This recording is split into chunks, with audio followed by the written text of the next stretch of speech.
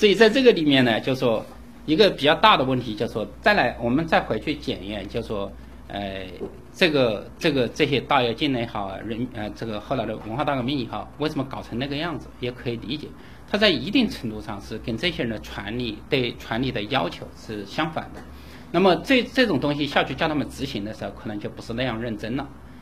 那么有一个有一个那个呃美国学者叫尼斯坎南，他研究美国的官场，他最后提取一个一个一个一个结论是这样，他说官员呢一般的追求是预算最大化，就是说呃本部门的拨款，财政拨款也好，那个物资也好，是要越越多越好。呃，这即使是不要拿回扣的话，就是说我们的部门是全国如果是拨款最多的，那显然我们的权力声望，呃，在整个社会的重要性都是提升的。那么跟他的一般的职业利益是一致的，哎，这是一个。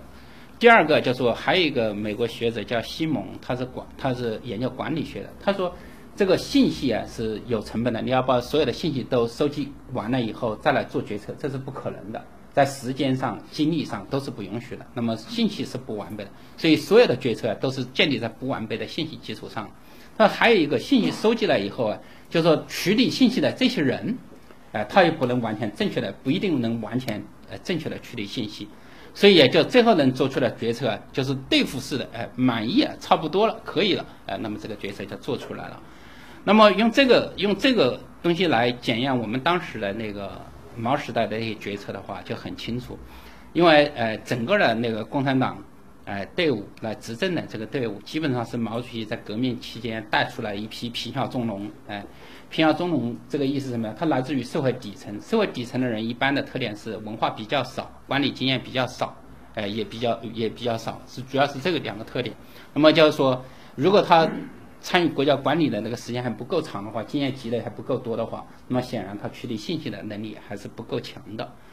那么像陈仁这样的同志，现在我们后来啊，把八十年代把陈仁就抬得很高，好像他是正确路线，呃，站在毛泽东队里面，毛老是不听他的话。哎，做这个方式来叙述当时，但其实承认这些人水平是低的，哎，不是一般的低。这个在五二年的时候，我们国家财政呢有三十亿的那个呃呃剩财政结余。那么在五三年的时候，他们做了两个动作，一个把这个三十亿结余给中国人民银行，中国人民银行就有这三十亿就可以放贷款了，对吧？这是一个用途。第二个用途啊，他们在安排这个五三年的计划的时候，我们去年剩了三十亿，是吧？我们还可以把这三十亿再用出去。那么这件项目啊，一个姑娘嫁两家，是不是这样？就就这么个用出去，哎，这是一次。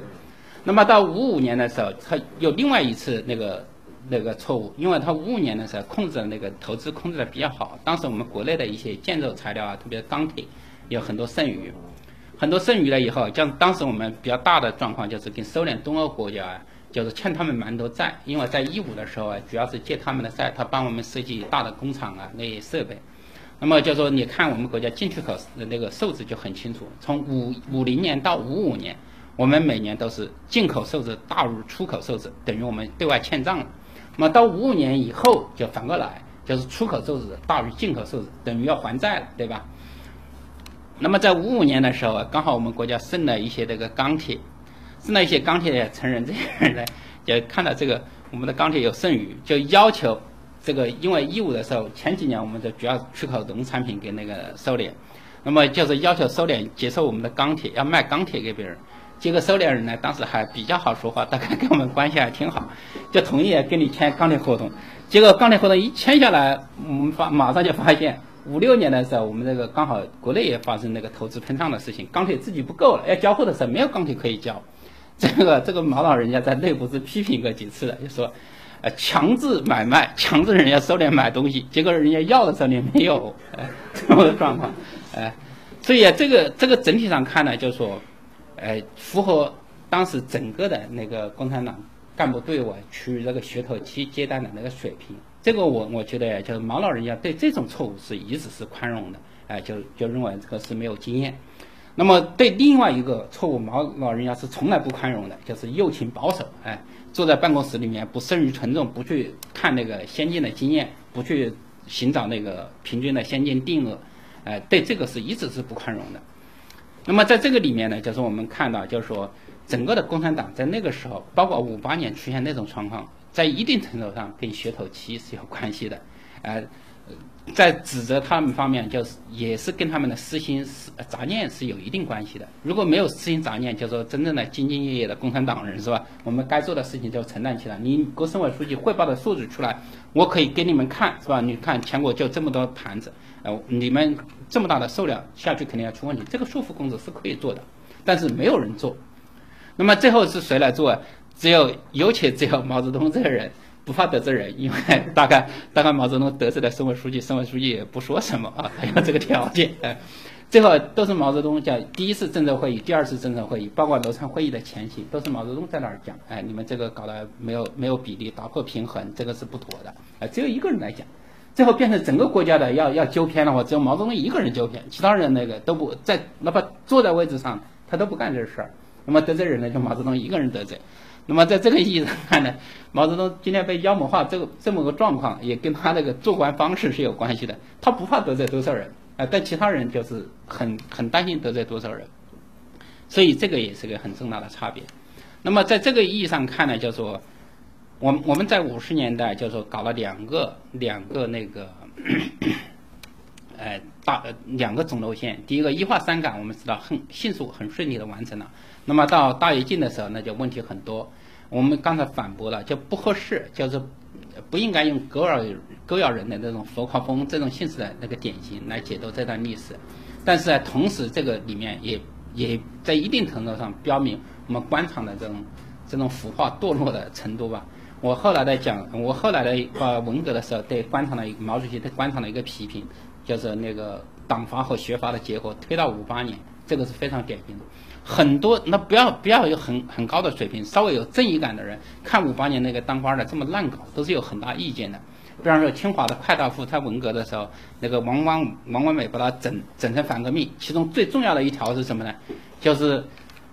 那个快大附在五八年的时候就批评那个整个那个官场啊乱搞，哎，当时被称为钢鞭材料，哎，快大附的钢鞭材料就是就是就是批评。大跃进时期的干部王光美就把他上升为什么呢？派大副反对三面红旗，反对毛泽东思想，哎，就上升到这个，哎，好像他是毛泽东思想的化身和当然的守护人，这他这么个角色，而且这样的人不是一个。后来在那个在文革的时候，郑州大学的像党员川他们一个重大的那个罪名，也就是反对三面红旗。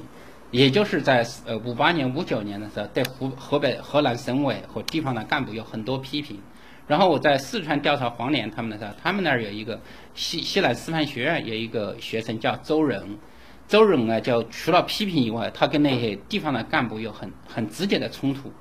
他当时他因为他上学的，他当时大概是呃还是个初中生，放学回家的时候，经过一个集市，就看到当地的一个一个一个一个干部。要干什么事儿呢？要强制的用低价买那个农民采来的野菜，他看了觉得你这个不跟那山上的强盗差不多吗？他反正那个小孩嘛胆子大，就冲上去说你这个这个不对。大概那个那个那个那个那个干部哎，有哎就是大概还是比较大的干部，当即就把警察叫过来，把他双手双脚提着往往地下打，就到那个。所以这些人呢，就说。有这种经历的人，跟干部有这种经历的人呢，就说很容易在文革的时候非常容易认同毛主席的那个走资走资派的这种说法，非常容易认同整个官场啊，呃是需要进行彻底的，呃就进行进行批判这种这种思想，所以很容易就自然而然的就成为了那个有问题意识的那个造反派，而且很坚定，一参加进进去以后就很坚定，所以在这个意义上看呢，就是说后来的文革跟。跟大跃进是有非常大的那个关系，就大跃进在很大程度上不是隐秘的，而且是公开的暴露的官场的那个黑暗面，哎，而且这种黑暗面呢，在很长时间里面是是没办法受到清理、受到批评的。我们刚才我们上午那个讲的时候就说，就是现在要追究呃大跃进那些那乱七八糟的事儿怎么出来的时候，没有很好的条件，文革的时候条件是最好的。像当时湖北省委书记那个王任重，他在五八年吹毛产万金，这个是在全国那省委书记里面都是比较突出的。他很长时间是造反派那个管着他，造反派也有很多人很感兴趣，就你要交代你在五八年犯的那些问题是什么，但是都被他都被他轻飘飘的掩个过去了。他当时就没有没有很好的交代，哎，他只是说当时相信了下级，而且提了不一些不当不恰当的口号。他承认说这个呃放开斗皮吃饭，哎，甩开膀子干活是他提的。然后就说呃宣传了一些一些那个卫星什么的，就说没有进行认真的核实。他只承认自己有个时差的错误，哎，就我没没有了解到底下的谎言，而且把这些谎言放到报纸上去了，哎，对整个党的形象有很大的损害，他这个还认账，哎，其他的就没有了。所以在这个意义上看呢，就说五八年的那些那些那些情况啊，就说我们今天再来再来再来总结的话，实际上有三个，呃，内涵完全不同的那个大跃进。我们刚才提到的，像按毛泽东说的，就说要改变官场的那种保守、右倾、三风四气这种、这种、这种不好的领导方法，呃，以以备于更好的推进我们工业化事业，就是快速工业化战略的这种大跃进。这种大跃进在五八年落实为，就说从一五的大洋权，哎，变成小土存、小洋存，然后从中央办企业到地方办企业这么一个变化，这是有决策依据的。而且也就是说从，呃，八道政治报告起草，然后就是承认起草的三个三个改革的决定，然后到五八年的八大二次会议，这都是有文献依据的。共产党呢，这个里面还像个执政党，哎，它重大政策出来的时候，首先有商议，对吧？后来有有有通过的那种法律程序，哎，上升到国家意志，然后在具体的那个呃办事儿方面，就说具体的执行也有细则，像成人的那个就是细则。那么这看来是是很清楚的。任何一个执政党办事儿都这么办的，哎，重大政策提出来的时候都是有有立法程序的。那么，那么，那么后来第二个大跃进呢，就是五风，就是浮夸风啊、高产卫星啊这些东西，啊，强迫命令、瞎指挥这些，这些东西在共产党纠正过。我我今天的今天的说法也就是，就是不仅不是毛决策的，就是邓邓小平、刘少奇他们应该也没有决策这个东西。那么是官场里面一哄而起的。那么这个东西是第二种大大跃进的内涵。还有一种大跃进的内涵呢，就是指年度。那按照共产党的那个、那个、那个、那个呃决策和执行计划的决策和执行，应该是五八年到六零年，这是二五计划的头三年，到六一年以后就重大二五计划的执行开始调整，三年调整，对吧？那么按照那个官方那个呃决策执行和贯彻这个角度来看，那么大跃进啊应该是呃五八年到六零年这三年。但是我们现在有一些自由派研究大跃进的时候，他认为大跃进不是这么画的，大跃进要怎么画呢？要一九五九年到六一年，为什么要画这三年呢？因为这三年我们国家人口都有负增长，很多人饿死了啊，呃，要用这个东西来来画大跃进。所以这三种三个不同的那个大跃进概念，它交替使用。毛泽东发动的大跃进，这个没有任何问题，是吧？快速工业化战略向地方放权，从大洋权到小头村，这都跟毛泽东有关系，没有任何问题。而且也通过国家的立法程序，党的会议通过，是吧？这个是没有问题的。然后大跃进饿死了很多人，哎，这个第二个大跃进就是我们刚才说的1959年到1961年，它的内涵是这个，哎，这三年饿死了很多人，所以毛泽东要为为这个饿死人负责。你看，这个典型的偷换概念。这如果是叫中学语文教师来批的话，这非常清楚。哎，第二个大跃进不是第一个大跃进，哎，这个论证至少是推不出，是吧？那么你要推出，那你必须讲清楚，五九年到六一年饿死了很多人，主要是粮食。那么这个粮食的生产、消费和分配这些政策，哎，导致饿死人，这些政策跟毛泽东什么关系？这要重新论证，对吧？但是没有这些东西。所以啊，就是我们看到这个，我们当时里大量使用这种偷换概念的这种东西，不仅是大跃进，文革也是这样。文革实际上有三个三个概念，首先是文革理论和实践，这毫无疑问是毛泽东提出继续理论革命，是吧？而且在文革中间，他支持文革派，哎，我把文革派在顶层就是毛主席、周总理、中央文革小组的一些人，那么在基层就是造反派，在构成文革派，是吧？这是这是第二种，就是说这个是文革的那种政治力量。那么第三种文革的概念也是十年，哎，从六六年到七六年，这叫十年。很多人控诉文革的时候，我在文革中间受迫害，哎，怎么怎么的啊？他在文革中间受迫害，他他主语是什么东西啊？是这个文革实际上是指六六年到七六年这十年。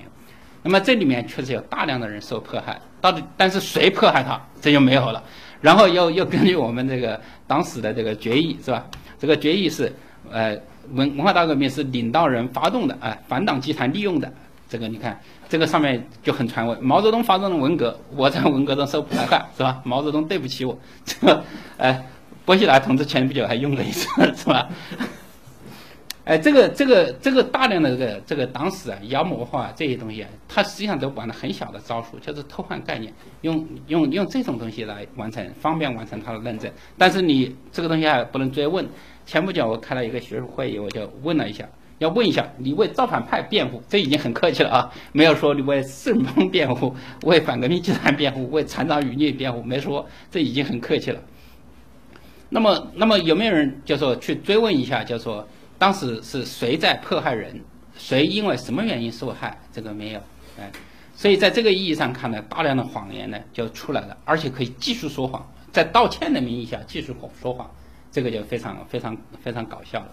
所以在这个意义上看呢，就说很多人说我们共产党啊管制媒体，哎，控制言论自由，其实非常诡异。我们共产党确实有中宣部，确实也管制媒体，而且也宣称很多媒体是我们党的喉舌。但是非常诡异的事儿是什么呢？我们共产党用财政供养的那一批人，反共人士超多，党校的反共人士现在比较多的，有话语权的是什么人啊？党校的教授，社会上的专家。然后高校的这个教师都是这一批人，这全部都是共产党用财政供养的。然然后如果说共产党真要管制的话，那就很很奇怪，共产党为什么不管制这些反共言呢？是吧？把整个共产党的历史说说的一潭漆黑，而且很多人就是官二代，就是共产党那个后，你比方说那个杨培松写党史的那个，这人他的父亲杨胜明就是原来那个国家纪委的一个比较高级别的官员。哎，而且就是官二代。你像原来邵小刚写那个《乌托邦记》，说毛泽东坏话，他的父亲就是在文革晚期的时候，就是《红旗》杂志一个《红旗》杂志一个一个高级别的干部。哎，当然是编辑，但是他们级别都非常高。哎，都是这么一些成人在那里。这跟这跟陈小鲁他们有有有一致性，就是说他们是一批先先知先觉者。哎，在文革的时候率先起来搞抄家破四旧、剪阴阳头、打老师，都是他们。哎，因为他们没有风，没有没有多少风险，他们估计，反正虽然他爸不叫李刚，但是他们爸他爸比李刚还很官还高很多，哎，基本上没问题，他政治风险为零，所以他可以无限制的打人。那么到改革的那个时候啊，就是重新写党史的时候出来发言的，他们的话语权也很大，哎，他们可以任意的说，在那瞎说，他他可以出书，我们出书很困难，他们说假话可以可以受到很多媒体的关注，很多大媒体啊跟他屁股后头那个。但是他们他们他们这个控制力度，就是说到底，就是在文革中间最腐朽、最堕落的势力，实际上他们现在还有还还是很腐朽、很堕落的势力。你比方说秦晓，当时那个西郊的宣传部长，那那那西郊打人，在在在整个北京打死那么多人，然后就是抄那么多人的家，然后迫害那么，而且就说把那个黑五类那家庭从北京赶出去，没有没有那个政府决策。就是根据西郊的第四号、第七号通令，然后那个北京市委书记、第二书记吴德坚决贯彻这个东西，然后这些人都赶回去了，然后，然后陈小鲁还在，还在那个北京站坚决执行这个东西，把那些人送上火车，哎，还让他们跪着在那里排队，这都他们干的。所以在这些这些这些问题上，你看，就说整个共产党这个制度要进步，确实要。还是要按毛主席说的那样，要扶持健康势力，要要要要打击、批判、消解这种消极势力。文革到现在这个到了到了这个程度，我觉得一个很大的问题就是那些消极势力始终在政治中唱主角，这是个很大的问题。哎，文革其实没有解决这些这些。那么在这个意义上看，我我们就讲了一下，就说跟大跃进相关的，就说哎那种那种那种那种那个历史的歪曲。那么后来，我们我们再看呢，大跃进以后比较大的一些变化，就说，呃，我们刚才呃讲了一下那个那那些工业方面的变化，然后我们再讲一下农业，就说从五二年开始成立中央农村工作部，哎，从户口走开始推进，就说农民要让农民活着起来，从户口走到初级社到高级社，然后五八年人民公社，然后再到六一年的。人民公社六十条确定三级所有对外基础，哎，这个制度，那么这个经过十年，就是大体上尘埃落定了，哎，就基本上就说，这个这个东西就说跟今天相比的话，就说是非常反常的，就说在历朝历代都没有一个政权能够深度的介入农民的生产和生活过程，然后就说让政权在农村也有执行力，这个是没有的。四九年以前，我们我们老家湖北蕲春应该在全国不算最落后的，应该算中等的那种地区，靠近长江。四九年以前，农村状况是怎么样？比方说，我在村子里面杀了一个人，只要你有足够的钱，你到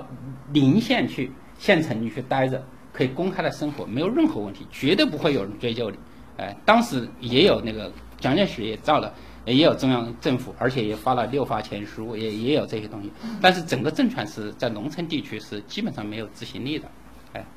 那么那么共产党呢，就说创造了这个新的机构以后啊。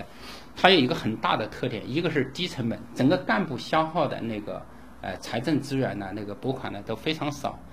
后来人民公社六十条里面单独有一条规定，叫大队和小队两级干部务工补贴，就是他们本身是农民，是要参加劳动的，但是你他有一些管理活动，比如说开交、参加会议啊，搞一些调解工作这些，整个的务工补贴不准超过前提收养工分的百分之二，哎，就是这么个水平。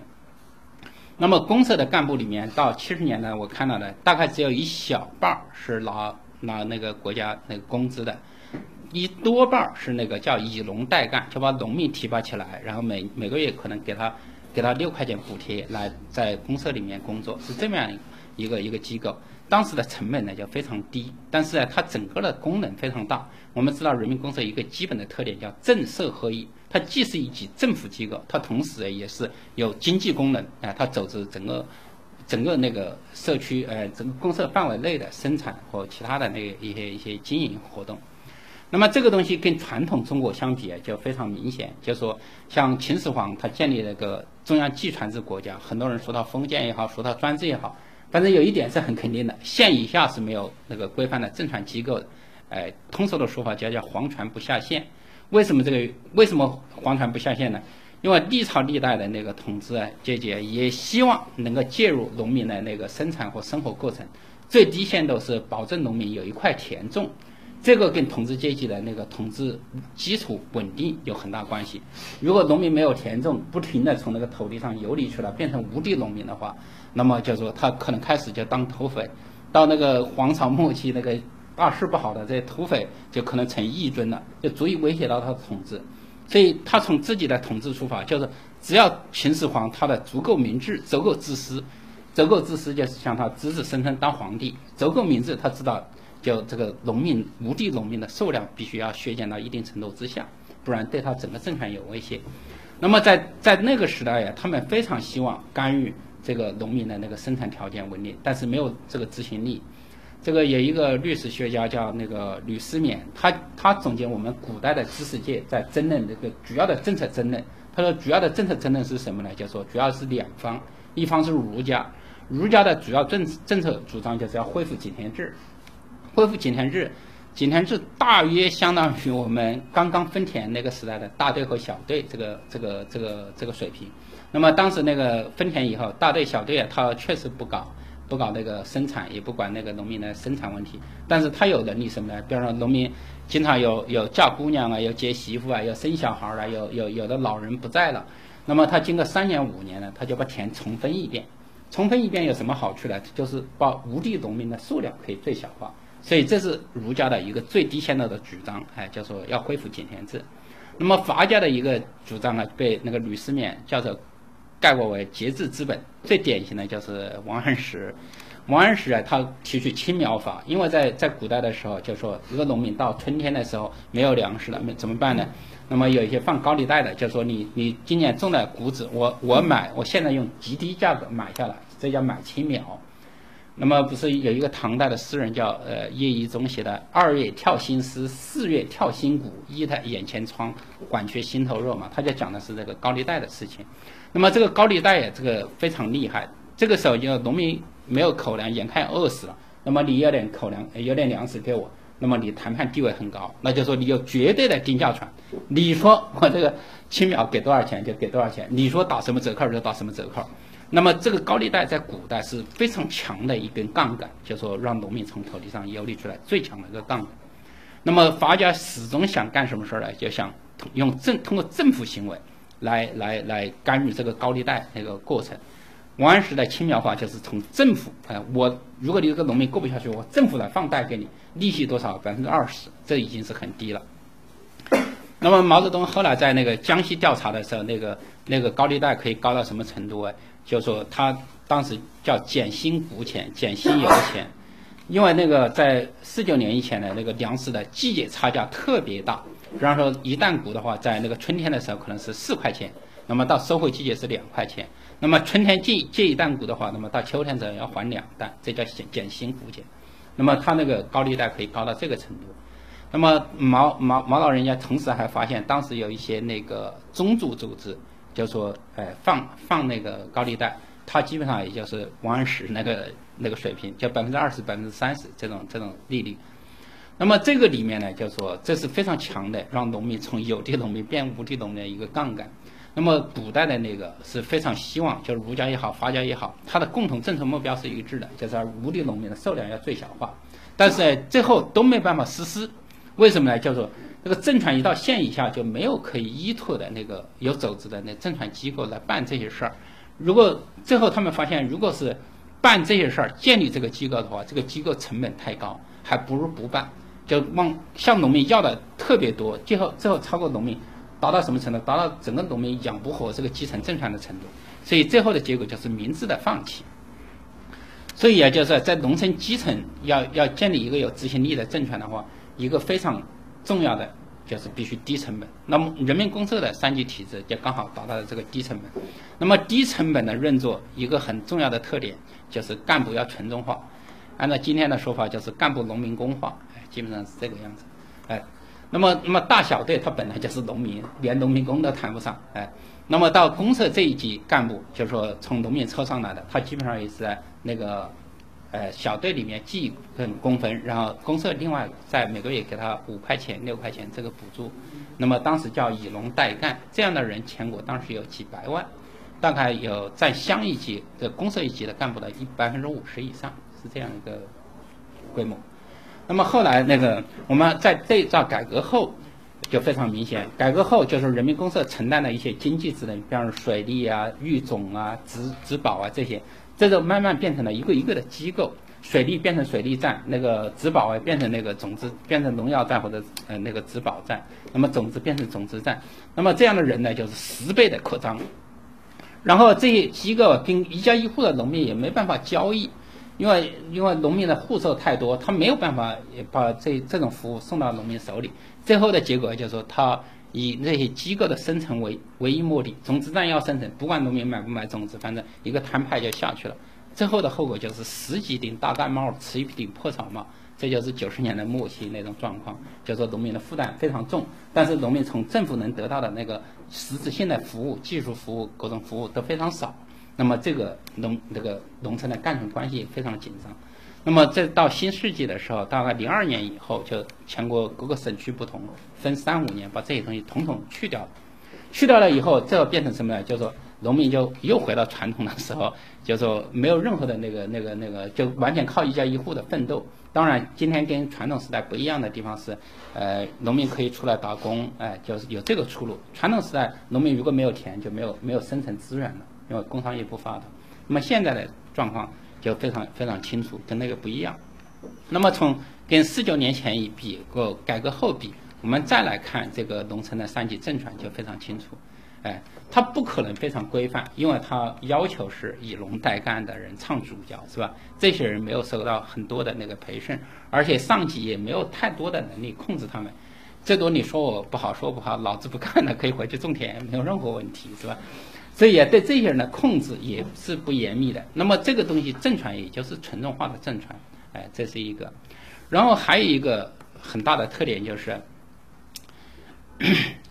他那个呃，我们今天很多自由派很很很愿意叫做选举怎么的啊，叫做通过选举来选拔干部。那么在人民公社这个层次，在大队和小队这个是没有问题的，他本来就是农民提拔成的干部，他就说他跟农民的一致性程度非常高，区别和不区别问题不大。那么在公社这一级就是有这个问题，毛老人家亲自主持制定的人民公社六十条里面规定的很清楚，人民公社社长要定期的由社员大会选举产生，对吧？这是政治上的代表性。如果你能够得到多少票，你可以继续当。但是有另外一个问题，在公社这个级别的话，就不能像大队、小队那样，这这些人我都熟悉，通过经验来管理，这个没办法，他要有一定的专业知识和技能，而且要当了一定年限的干部以后，我才对公社那么大的范围情况有所了解才行。那么这个公社社长最后啊，他有两个，一个是叫做毛老人家制定的那个说是要选举，但是另外一个就是上级的组织和人事部门对他有一个考评和控制。哎，这就是专业化的，就说你有多少管理技能、专业技能，而且这个公社社长呢，在很多地方都是吃商品粮的，你把他选掉了以后，那就有一个巨大的问题是吃商品粮还是不吃商品粮？然后你选一个新人上来，我是不是就是马上配套给他商品粮吃？哎，这个这个两种两种的那个。有很大的冲突。那么选举当然是代表性那个方面，就是说谁有代表性，谁没有代表性。那么就说最后在人事和组织这个方面，就说是考虑的是专业化。你这个人当过和没有当过，哎，会当还是不会当，有没有这个管理经验，这个变成第一位的。这两者是有冲突的。哎，这个在人民公社的时候，就是看着还是很明显。不过当时的那个干部，大多数还是跟群众关系还比较好。呃，当时我在农村种田的时候，我们家里就是很多公社干部，包括县里干部都到家里来吃个派饭的。呃，这个这个当时的那个那个那个印象啊，有一点。但是就说你事后再来看这个，确实还有那些问题。那么在在另外一个方面，就是说毛时代这个执行力有一个很大的特点，就基层政权的执行力很大的特点是什么呢？传统时代这个政治和经济，这个政权的政治功能和经济功能没有没办法配套。它它的政治功能可能仅仅到县这一级，下去它下不去了。那么在毛时代，一个很大的变化就是，它能够政策合一，政治功能和经济功能配套，这有非常大的那个那个那个那个那个，就很大的提高了那个政权的执行力。我们我们今天前一些时不是还在讲那个枫桥经验嘛？这个枫桥经验。从它呃内在的实质是什么东西呢？叫做以人民公社和下面的这种三级组织这种群众群众性的这种这种舆论网络，来接管国家专政机构的承担的这种镇压功能，是不是这个意思？那么在四清的时候，当然他这个他这个案例不好，呃，没有代表性的时候，当时是把这个打击对象对准那个呃地府樊怀佑这些人，呃从。从当时看来，地府樊怀佑这些人，除了很极端的例子，实际上他也是举了一个极端的例子，就是说对这个制度的认作可能会有很微小的影响以外，真正对新制度有影响的，还是这个制度里面当官的、有发言权的那些人，就是文革说的那种走资派和反动学术权威这两群人。哎，对那个制度论作的好和不好有巨大影响。真正地府反外右，他在政治上已经边缘化了。就算他非常的不服气，就算他想时刻想着反攻倒山，他对整个制度的认作成果、效果、认作效率是没有没有任何影响的。所以后来有个地主的儿子跟我说啊，这个毛主席时代搞阶级斗争呢，只有一个时候搞对了，什么时候搞对了？就文革的时候搞对了，其他的时候都搞错了。哎，文革的时候就是把这个目标啊，对对，直接掌握制度、掌握舆论的那些人，所以把这些人搞好了，这个制度的效率肯定会提升。你把那个地府反反坏右倒过来倒过去，对这个制度的认证没有太大的效果。哎，就算杀鸡消耗也消不了猴，那老子三代贫农，你整个地主就能消唬我？哎，消不唬不了。所以啊，这个这个里面呢，就是说，枫桥经验里面这个是没有代表性的，但是它另外一个是很强大的。后来在九在九大的时候，毛泽东在在那个呃九大会议上有一个讲话，说我们现在有多少监狱，关了多少人，呃，对这些人改造会有好的效果吗？我看没有，哎，而且说他说原来不会偷的，呃在里面交朋友，学会了偷，原来是个人犯罪的，现在变成出去一大堆哥们儿变成那个团伙犯罪，呃，问题更严重了，呃，最后的意思就是公安局教育不好人。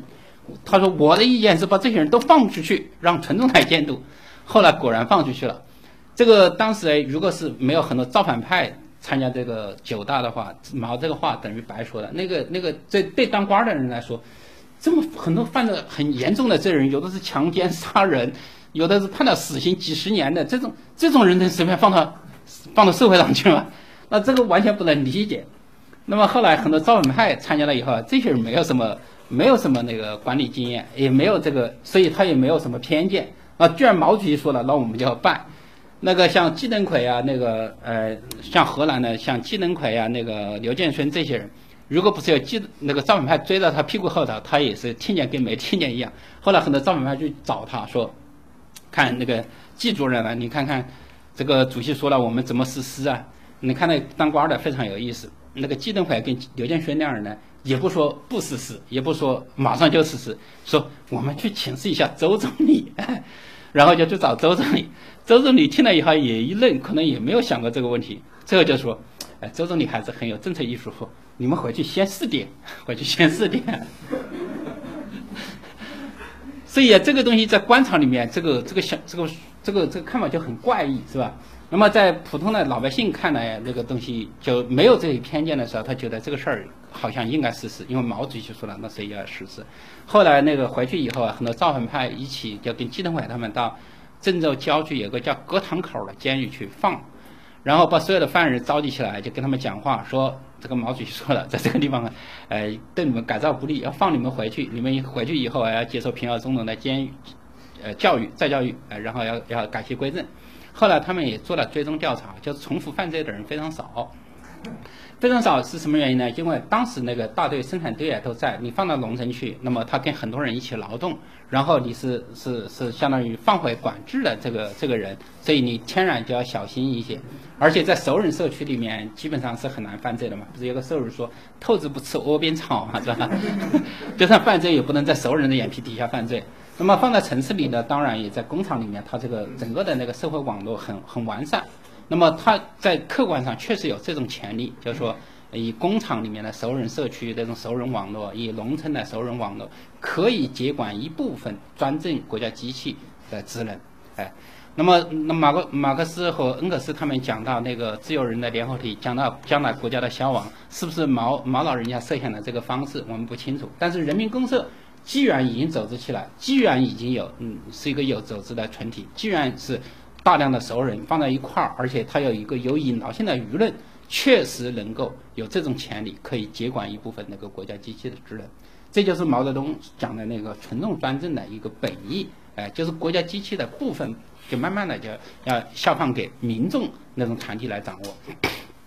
比方说像军队，像像王明、呃张国焘和那个李立三他们就觉得，那个我们要打打赢敌人，那么首先要有正规红军，是吧？把所有的那个民兵呢，统统去掉，要发展一百万贴的红军，然后就一马长江，会师武汉，是吧？他们他们是这样一个一个逻辑，有力量，那么就是整个的那个正规军力量。那毛就反过来，就说除了那个正规军以外，还要有游击队、中队、小队、刺猬队，包括儿童团都是需要的。这各种力量搭配起来，然后才构成我整体的战战斗力，对吧？那么，那么在五八年的时候，毛同时还有一个说法，要大办民兵师，哎。实际上也很简单，就是正规的解放军要减少，那么民兵这块的力量要扩大。现在我们大概还有，就是像武汉周边的，还有防空的那种民兵，掌握那个迫击呃，掌握那个那个那个高射炮的这种民兵都有的，哎。那么这这样一个思想哎，其实也是包括国家机器的一些专用化的机器，呃，特定人士掌握的东西，下放到群众中间去。呃，同时在这个过程中间，也是毛泽东主张的叫学工学农学军，呃，全面发展这样一种人的全面发展的这种思路。那么在这个里面呢，就说他有这种这种机制和没有这种机制是完全不一样的，那么在这个里面呢，还有一点就是非常有意思，就说因为整个的呃那个人民公社化以后啊，群众都有组织了，它的很多方面可以发挥潜力。你要搞工呃搞工业，虽然我们不能办工厂，不能开机器，但是我可以帮你修公路，是吧？这也是个很大的贡献。那么你要搞别的事业，比方说像搞呃卫生健康这方面，也是呃组织起来的群众也是可以呃发挥自己的力量。像建国以后，我们。其那个新中国的卫生方针，呃，周总理呃讲了四句话：第一个面向工农兵，第二个团结中西医，第三个就是预防为主，第四个就是专业领导和群众运动相结合。哎，因为我们有一个组织起来的那个群众，他在很多方面确实可以引导，在很多方面都可以发挥他的作用。呃，把专业部分这专业部呃专业人士能够做的那些事儿，可以大大的向外推。其中，我觉得最典型的就是歇息虫，来防范歇息虫。你比方说，呃，我我们我老家是湖北的，那个老家附近都是那个歇四九年以前是非常严重的那个歇息虫疫区。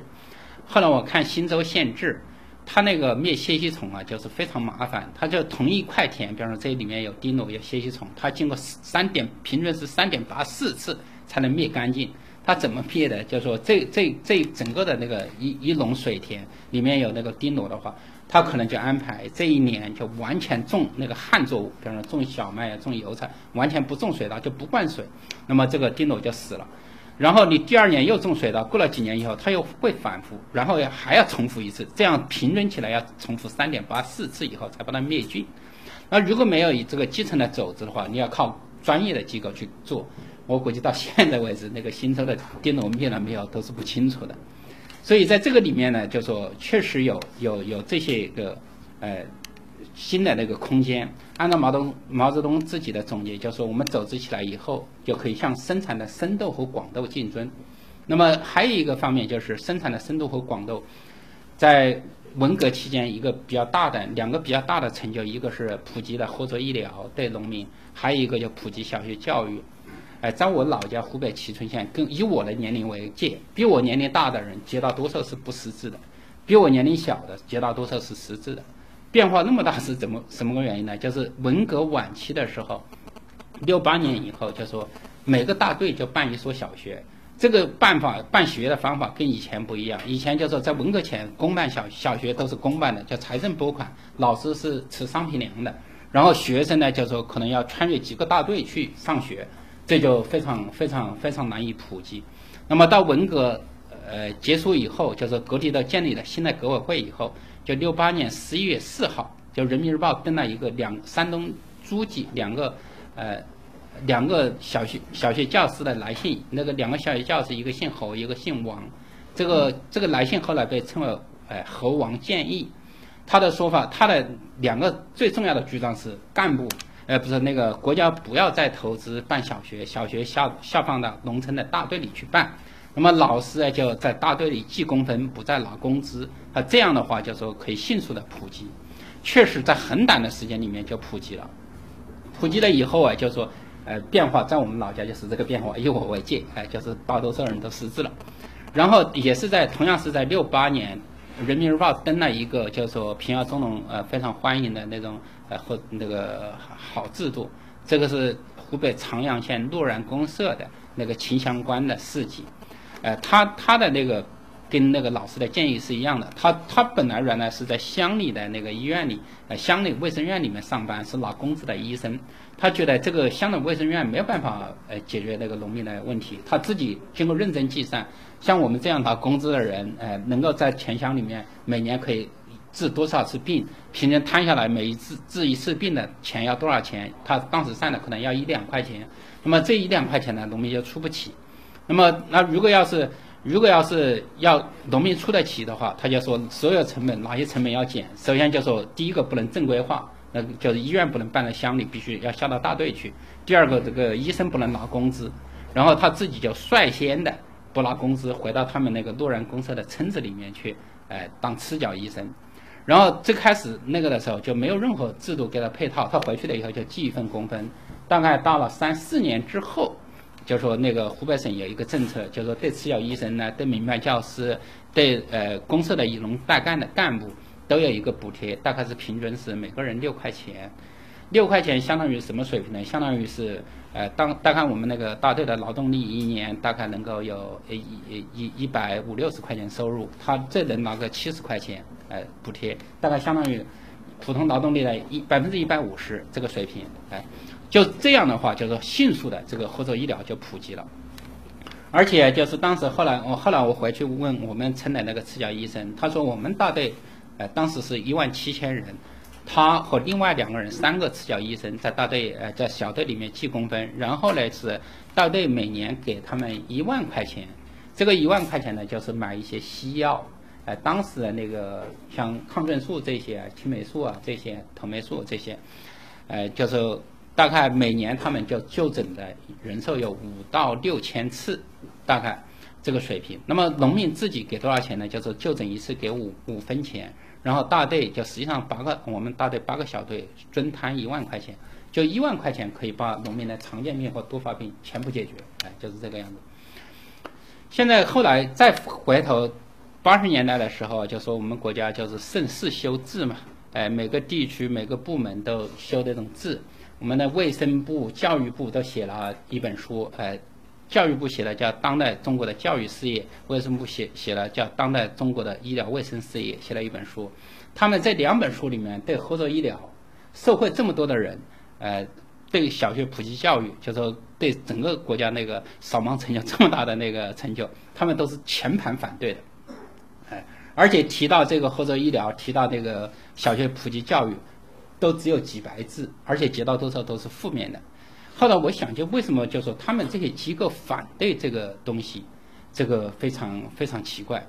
这个后来我看那个尼斯坎南的那个东西，呃，日善这段话的时候，我想起来，只要这些这些人他专业机构在上面掌权，他们一个本能的冲动就是提高本部门的，呃，本单位的平均的那个服务价格，就说同样一次服务。呃，有可能的话，农民可能能出三毛钱，但是我一定要提高到三块钱才满意。那么这样啊，百分之八九十的农民就没办法看病了。然后他的教育也是，他他把这个平均价格提上去了以后，那本部门的利益，本部门就业的那些人，那当然感到很满意了。那么这个东西是非常致命的东西。本来说我们建立一个部门，建立一个一个一个专业化的机构，呃，主要的。方面方面还是为了他们积累经验。那么他们在一个部门当领导，在一个部门管事儿。那么经过长时间以后，他们他们能够积累很多的管理经验、专业经验，能够把事情办得更好，比纯种化办得更好。哎，应该是这样。专业化就是提高水平嘛，对吧？但是在叠加了这个东西以后，就说他长期的要求本部门预算这的话，那么一个本能的冲动就是把平均的每次服务价格提高到接到多数人承担不了的时候。那么他们变成一个彻头彻尾的障碍。那么这个里面再看毛时代就非常清楚。实际上叫做赤脚医生这个东西，在五五年前后就办高级社的时候，就是很多地方就有这种经验，就开始试办。因为农民很多有有病没办法治啊。那么高级社出来以后，有三四百户头啊，说抽一个人出来学当学头工来学这个东西是没有问题的，承担得起的。但是，这些东西就在六一年下马的时候，就刘少奇承认他们就是。呃，调调整就是搞退购的时候，全部就是砍掉了。砍掉了以后，就是六一年到六六五年这段时间，就是又是农民用用市场化的价格来来购买这个医疗，购买这个教育。那么这个就是是很大的一个障碍。那么文革啊，就说把整个的那个教育部、卫生部这等整个的机构搞烂了以后啊。新掌权的是军队干部，也不能说军队干部为服为人民服务的精神比卫生部、比教育部更强。但是他在这个的问题上没有职业利益，哎，不是说我非要把我们那个部门的预算最大化，他没有这个想法，没有这个想法。那么这个东西实际上，嗯，后来我查了，没有中央决策。那个猴王建议放在那个人民日报上就讨论了半个月，然后各地风起人涌响响应。我们学校，我们的大队那个那个那个小学就是这么办起来的。那么办起来以后，自然的全国绝大多数人都受到教育了，哎，那个合作医疗也是，到六八年以后，整个的那个卫生部这个管理机构全部垮，垮了以后啊，他们不管事儿的时候，那么各地风起云涌响应，响应的最后的结果就是，办的那个合作医疗机构过多，过多的时候，我们国家有限的那个医疗那个医药啊，这个西药那个生产呢供应不上，供应不上，最后怎么办呢？就是讲那个秦相关的经验里面叫叫三自，叫自采自用，哎，自购，就是说他他不得不就开开发很多传统的这种中药资源来弥补这个西药不够的这个这个困境，那么他就对环境的这个资源的开发就更进一步提高了，所以在这个意义上看呢，就说。当时，呃，在毛时代那个，呃，文革期间，宣传这个合作医疗，宣传这个小学教育普及，啊，提得非常高，说这是社会主义制度下的医疗革命、教育革命。这个革命最后否定的是什么东西？否定的就是他们部门利益的扩张和自大化。那么后来我们看八十年代这个改革的时候啊，一个重大的问题就从这儿开始，呃，就向各个部门放权，向官僚群体放权，放权的第一件事，他们就涨价。呃，我们现在看的很还很典型的一个是医药，一个是建筑，哎，那个当时建设部啊，建设部啊，他制定的那个，他他管那个制定那个建设定额，说，比方说这个房子实际造价可能要叫农民造的话，像这样的房子，在大概在八十年代就是五六百块钱，他造出来这个建筑定额可以做两千多块钱出来，哎，两千多块钱这就变成了一个肥肉啊，呃，以相关的那传理机构可以都可以在里面分红。那么现在我们看到的这个政府工程很热衷，有很多人批评说这是因为满洲的官员的行舟需要，所以他们他们很热衷这个东西。那么为什么这东西能行舟啊？一个很根本的原因就是那个那个建筑标准超高，哎，里面的那个利润很丰厚，哎，所以它在这里面才才可以才可以，哎，只要有船可以舀一瓢水出来。那么整个的改革过程。最后实际上是就是从教育部反对普及教育教育，这个卫生部反对合作医疗这个地方可以看到那个最本质的内容，就是他们都是要搞预算最大化的。那么，那么后来就是在八十年代的时候，不是所有的部门都可以像建设部和卫生部这样可以执行自己的制定价格标准，很多部门没有这一点，比方说工商行政管理局，它没有这一个，它是个纯粹的社会性的管理机构。那么最后变成什么呢？变成三滥。叫滥收费、滥摊派、滥罚款，哎，就这么叫环保局也是，哎，他他这种管理机构，就说八十年代那个三滥很严重，严重到什么程度？我记得那个当时的报章上整天就是有各种人写各种文章，在头版头条说要怎么对付这个三滥。其中湖北省有一次出来政策说，凡是要收费的，一定要有三票一卡，哎，要三证一卡，就是说以前省。包括中央级别审审批的，他那个收费那个许可证都是作废了，必须在某月某日以后，呃，重新批准的那个收费收费证才可以使用。然后你这个人收费，你本身必须要湖北省政府以这个级别的核准的那个收费员证，呃，才可以，还交到其他的证。然后就说你你收费的那个卡必须是财政指定的那个账户那个卡才行，哎，那么那么出现大量的情况都是这个样子。所以整个的改革开始就说是部门利益的扩张，哎，单位价格的那个上升和那个整体的那个那个那个那个那个膨胀。那么这个里面就说后来很多人批评政府干预不对，既当哎裁判员又当运动员，这什么时候来的？从八十年代改革以后才有这个事儿，以前是不存在这个问题的。所以在这个意义上看呢，就是说从人民公社能够实现的一些智能，人民公社垮了以后。就实际上基本上就说像免费教育、免费医疗就没办法没办法弄了。当时在大队里为什么弄哎？很简单，就是说我们大队有这么多小孩需要呃受教育，我们大队也能找到有文化的那些人，可以临时性的充任老师。然后哎，就说只要找个房子，做几块那个土黑板，哎，马上就可以了。其他的条件确实是非常糟糕。当时因为这个小学一时之间办起来非常快。作业本呢，那个、那个、那个书本啊，都是不够的。我上学的那个一年级，他只能保证一年级学生有书，二年级、三年级就没办法保证了。我当时记得非常清楚，每年上学的时候有没有书，上小学有没有书，这个是不清楚的。我们经常就问老师：“我们今年有没有书啊？”老师说：“你先把你姐姐的书拿过来先用。”都是这种，都是这种方式。就说它膨胀的太快的时候，我们国家的造纸工业、印刷工业赶不上，哎，结果就是这个基本的东西都都提提供不了。所以在这个里面呢，就说一定程度上看到，就说大一推广的一些东西跟官员的利益和后来的改革，它有内在的逻辑一致性，它是在同一个逻辑上那运作的。呃，有一个美国呃有一个教授叫有一个叫那个嗯。曹天宇的，他在美国波士顿大学当教授。他说：“我们改革，放权和让利都是没有错的，但是放错的对象，放权给干部，让利给干部，这就错了，是吧？这就很腐朽、很堕落。而且我们整个共产党的和政府的形象，呃，很很糟糕。一个比较大的原因，就是因为放权放给他们的，没有放给群众，哎，没有放给那个最底层的最大多数的老百姓。那么这个确实是很严重的一个问题。”整体上看呢，我们再回头看，就说人民公社这个这个这个实践过程，它确实提到很多新的东西，跟原来也很不一样，而且它有很多潜在的可能性，而且它潜在的可能性，呃，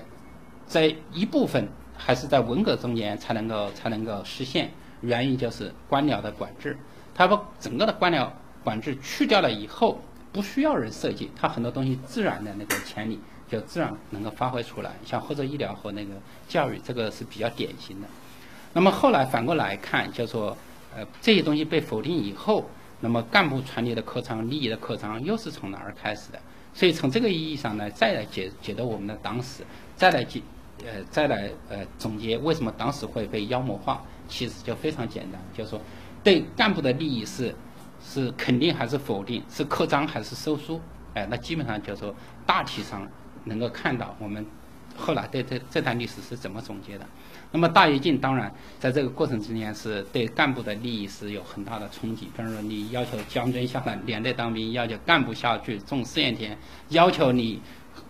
原来就是当官做老爷的方式要深入到群众中去总结先进经验，然后推广先进经验，这确确实实呃触及到很多人的你原来的当官模式。那么这很多人呢，就说不愿意生育下去研究，跟农民一起创造新的方法，总结新的方法。那么最简单的是，我控制媒体，我可以宣传一个高产卫星。那么，那么在这个意义上看，也就是种下的农农呃播下的农种，呃，结果出了跳蚤吧，是这么个问题。那么在这个意义上看呢，就说总体上要解决这些问题，我觉得还是毛老人家说的这个对，不是新的制度设计问题，还是治国要自立。要要把他的那个基本利益，要告诉他什么东西是属口的，要什么东西是不属口的。如果在官场里面解决不了，那么我们就要把群众走起来，开始进前面的自下而上的揭露你的阴暗面了，让你难看了。